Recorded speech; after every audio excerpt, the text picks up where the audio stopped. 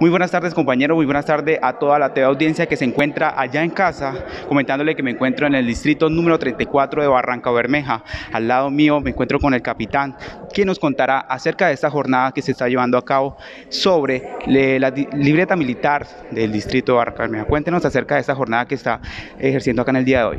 Eh, saludo a todos los televidentes. Eh, el día de hoy estamos adelantando una campaña muy bonita que es para todos los ciudadanos en condición de discapacidad para que se acerquen a nuestro distrito militar. La finalidad es poder resolverle su situación militar, entregarle su libreta digital y que usted ya pueda irse tranquilo a su casa resuelta, con su, eh, resuelta su situación militar. Los invitamos, el distrito militar tiene sus puertas abiertas hasta las 18 horas para que se acerquen, traigan su historia clínica, fotocopia de su cédula, registro civil, eh, eh, el registro civil y la foto física, fondo azul 3x4 y en CD en JPG y con eso ya usted podrá iniciar su proceso y finiquitar con su libreta militar digital. Capitán, ¿estas jornadas hasta cuándo van y si se van a realizar más adelante acá en el distrito militar? Claro que sí, la jornada nacional se va a realizar eh, los meses de marzo, junio, eh, septiembre y diciembre. Los primeros cinco días se iniciará a nivel nacional, más sin embargo el Distrito Militar 34 va a iniciar un proceso interno para solucionarle a todos los barranqueños y alrededores para que se acerquen todos esos ciudadanos en condición de discapacidad y poderles resolver su situación militar.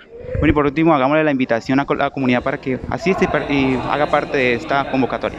Claro que sí, invito a todos los ciudadanos en condición de discapacidad a acercarse a nuestro distrito militar. Estamos para servir y colaborar. Nuestro Ejército Nacional les abre las puertas el día de hoy y nuestro distrito militar para que se acerquen y podamos resolver su situación militar y coayudar de una u otra forma a su desarrollo en la parte de sus trabajos y eso y tengan oportunidad de trabajo.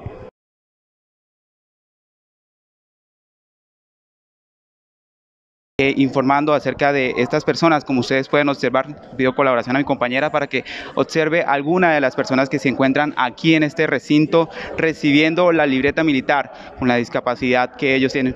Muy buenas tardes, señora, y cuéntenos acerca de la asistencia que usted está haciendo en el día de hoy. ¿Qué discapacidad o que si está acompañando a algún familiar en estos momentos? Estoy acompañando a mi hijo. ¿Qué discapacidad tiene él? Mi hijo tiene trastorno mental leve. ¿Cómo ve estas jornadas ustedes que están realizando el Ejército Nacional en el día de hoy?